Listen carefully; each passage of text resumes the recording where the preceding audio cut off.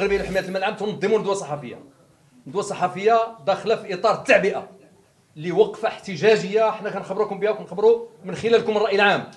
وقفة احتجاجية غادي تكون يوم السبت 21 السبت المقبل ماشي غدا 21 على الساعة الخامسة.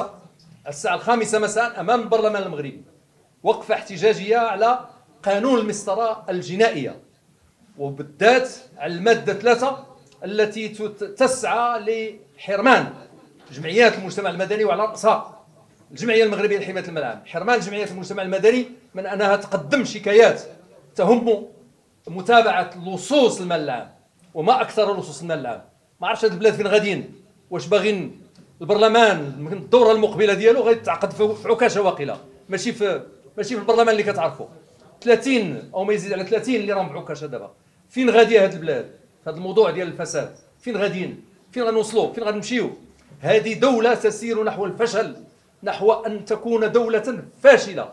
لما سيلف وسيكتمل الطوق ديال ديال ديال ديال الفساد ويلف جميع مفاصل الدولة.